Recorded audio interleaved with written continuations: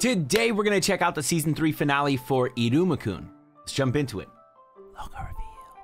But before we do, maybe consider subscribing to the channel if you enjoy these reactions. We're trying to get to 32,000 subscribers by the end of the month, 50,000 subscribers by the end of the year. It's possible if people like you choose to subscribe. Also, I'll be checking out tons of isekai in the upcoming seasons. I, I love isekai, so you'll find plenty of those on the channel. And you can find the full link as well as exclusives over on Patreon. Aww.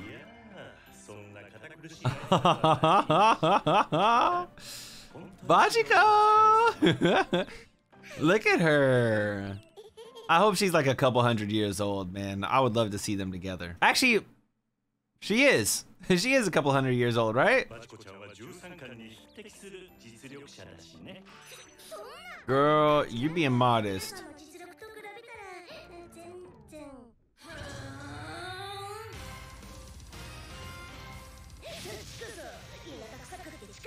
Wait, we know her, right?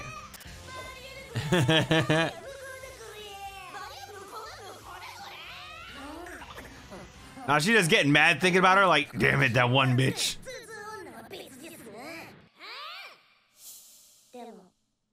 Mmm. He works hard, man. He won you over, man. That's what Iruma does. He wins people over. That's what he does. He wins people over. Bro, she almost dressed like Bocchi right now. What is that? Bachiko the Rock. oh, little bow. Aw. Boop. There you go. And this will forever be what you wear. I don't like that. That's scary. What the fuck just happened? What is... Whoa! Oh! A large amount of demons gone missing? Oh, shit! It's the one dude! It's the one dude! The Musashi no crew. Who the fuck are these guys? What the? Oh, wait, that's what's her name. Oh, that's oh wait, these guys. Okay, I'm bro. I was like, I, I, was looking at them like, oh my god, who are they? And then I recognize her, and I'm like, oh wait, I remember her. Oh, I remember. I remember them. Yeah, I remember them. I remember them. That's interesting.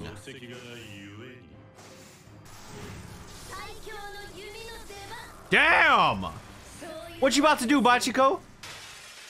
no, no, wait, hold on. Chill. Yeah, put that. I mean, you could just put that away. You don't need that.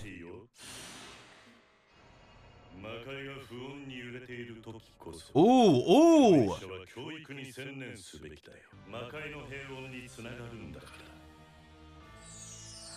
Yeah, he did look kind of cocky just now, bro. Sullivan's very cocky. What? Wait, hold on.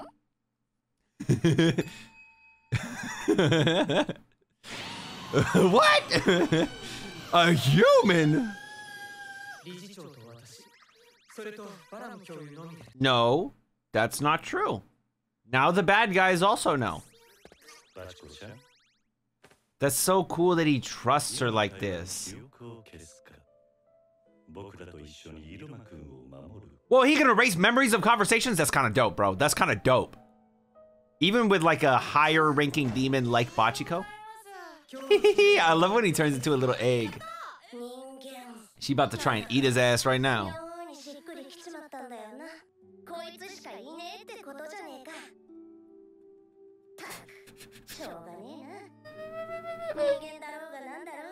You love to see it. イルマ君使いっ走りにしてるの気づけなりませんね Oh. Oh, wait, wait, hold on. Um. と掃除もします she about to get in trouble. なんかよくわからないけど Damn that bed, bro. I get jealous of his room every time I see it. So big. Uh oh. Oh no. What if they don't have a lot of mana before the next? Uh oh. What's that? It's an invitation. Ooh, to what? Damn. Wait, they haven't been here before? I thought they went here once. I'm tripping. Bro, this man lives in a fucking mansion.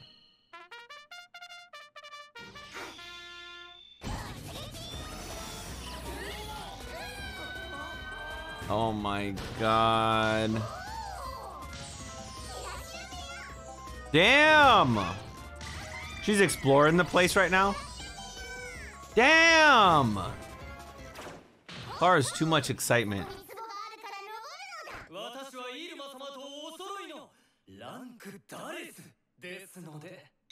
Let's go. Oh. Damn. Damn. As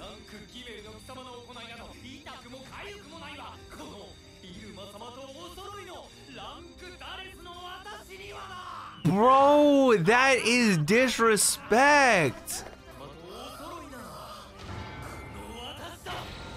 Damn. No. Uh-huh, Clara.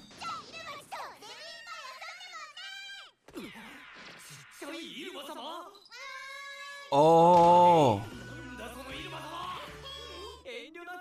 Dude, that is dope. I like them all. They all look yummy.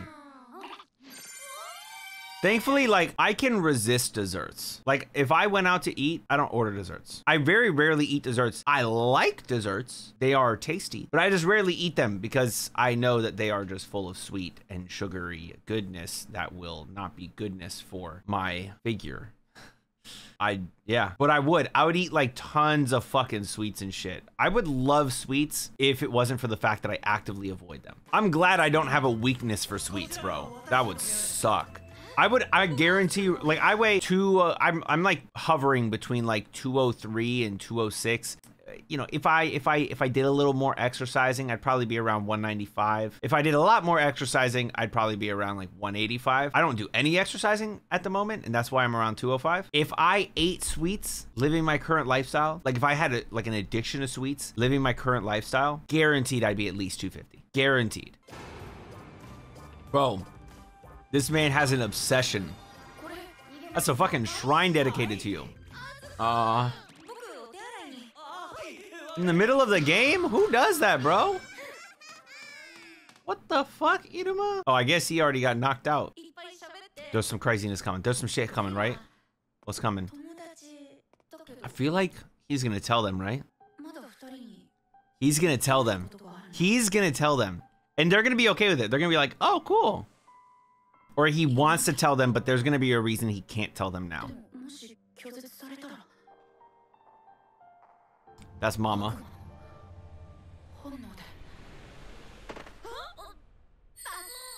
I knew it. Bro, why she look like she jumped on his shoulders? That's her leg, right? What you doing right now?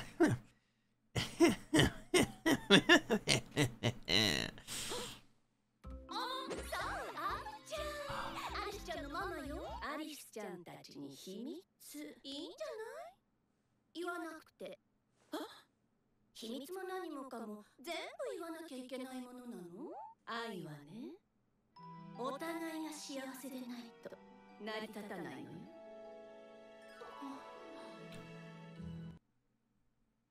Love doesn't work unless all parties are happy. Um, that's actually true. Yeah, because honestly, if you if you are unhappy with someone, you're more likely to fall out of love, you know, or to love them less. But having someone love you under false pretenses, that's a really fucked up thing to do. It's like catfishing almost. He's low-key kind of catfishing them when you think about it. Hmm. That's also true. Whoa, and sexier, damn. A little finger, bro. You better watch that finger, girl. suck that shit off. what?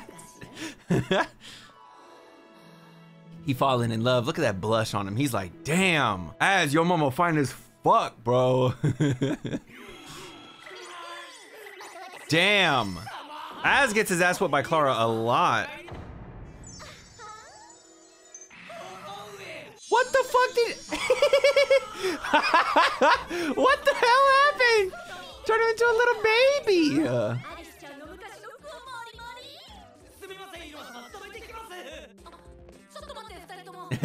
she just put it on her head. Oh! Is he gonna tell them? Or is he just gonna tell them I have a secret that I can't tell you? Oh, he's not actually telling them he's human.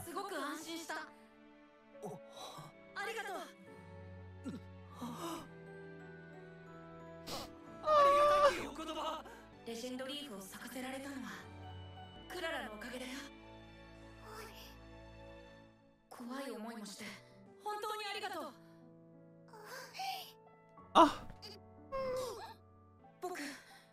oh he's not going to tell them, no. Oh.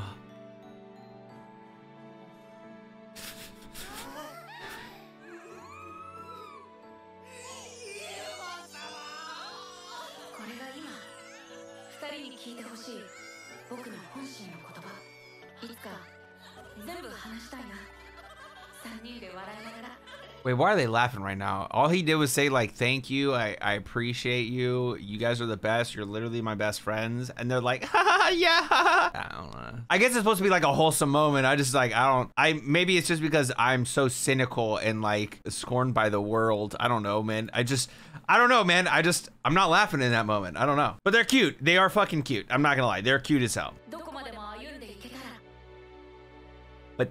That's not gonna happen, because the bad guys are coming.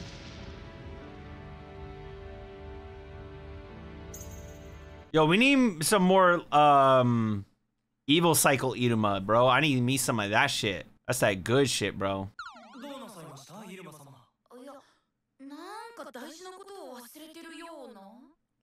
Person. Nope. Person! いるだろうもう一人ランクベトがだからそこに Yes! Let's go!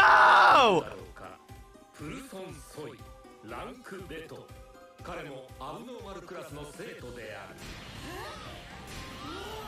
They're all like, what the fuck? This guy's been here this entire time? A new friend, a new friend. Let's go. Person exists, guys. Person exists. That's dope, man. That was awesome. Oh, I'm so glad the person gets revealed at the end there. Oh, yes, dude. All right, good fucking episode. That was a great way to round it all out. I loved it. I want to just give you guys my thoughts on the previous episode. So I had an issue when I was recording. Basically, like I had a update for my Windows that resulted in OBS not capturing any sound. So like I have the recording, there's no audio. And there were definitely some cute moments. I, I just want to quickly like talk about the moments of the previous episode. I think specifically the biggest thing for me was obviously the Ameri stuff, right? Like every time we get Ameri moments, that's like what we're looking for. We always want some Ameri moments. So them cooking, that was really cute. I really enjoyed that. If it kind of felt confession like, you know, giving him the chocolates and stuff, the can- the the cookies or whatever. It was a really cute moment. I, I love anytime we get Ameri Iruma moments because that's my ship. And then the other thing that was really big was just the introduction of Lead's sister. And I thought when when she's like, "Oh, does do you does anybody have like a, an older brother?" My first thought was Jazz's older brother. And Loki, I feel like they probably know each other. Lead's older sister, Jazz's older brother. I feel like they know each other. I don't know if they're close, whether they dated or not, or anything like that, but I feel like they know each other in in some capacity. That's essentially my thoughts on the previous episode. It was good. I enjoyed it, uh, but it, it wasn't like some massive thing, and I'm really glad that no massive thing occurred when I fucked up on the recording. Bachiko now knows that Iruma is a human. Huge deal. Now there are a bunch of people that know. The bad guys still know, which is not good. Like we don't like that part of it. But for as far as the good guys go, Bachiko, Opera, and Granddad Sullivan, they all know that he's a human. That's great. And he almost tells Idum, not Iruma, Iruma almost tells Az and Clara real close. But I I'm also kind of surprised that he didn't just say, like, I have a secret that I can't tell you guys yet. I thought that was gonna happen. I thought he was gonna say, I have a secret I can't tell you guys yet. And they were just gonna be like super cool with it. Because that seems like the type of people that they are. Instead, he tells them that he thinks they are cool, they're so helpful, I, like they're literally his best friends. Wholesome. Very, very wholesome moment. I like that shit. Bachiko having a thing for Sullivan, still really fucking cute, you know? I mean, maybe something happens there. That would be cute. Uh, Clara, when she arrives at at Az's house, is just her her typical chaotic self. She's that's just she is chaos. She is the embodiment of chaos and fun. That's like truly what Clara is. Az's mom, she, I mean, she she's some, you know, she's some. But I I do like the fact that she gives Iruma the advice, like, listen, in order for love to work, everyone needs to be happy. I that's I'm sure that's kind of debate debatable in some ways, but I think that like on a very like surface level, when you think about it, it makes sense, right? If you don't like dive too deep into it and try to like pick apart the details, I think that that makes sense, right? Love requires happiness for everyone right? Makes sense. So I really like that moment. And then obviously the biggest moment is just the person reveal. So many great moments in this episode, man. This was really good. I also forgot to mention my thoughts on the previous episode. I love season three. I am so excited for the, the music festival or whatever that's supposed to come up. That's going to be really dope too. And now we got to raise everyone's ranks up to rank four. Um, I think that they're, I think that they said basically there's like one rank two left the one ranked bet, or, or, maybe I'm wrong. I don't know, but they gotta get Person up as well. Now Person's finally being introduced. I'm excited to see what sort of personality he has, you know? But that said, I'd love to know what you all thought about the episode, the finale for the season down in the comments below. And as always, if you enjoyed the video, then like the video and subscribe to the channel with notifications on so you don't miss another one. Until next time, make sure you all keep it fresh. Peace.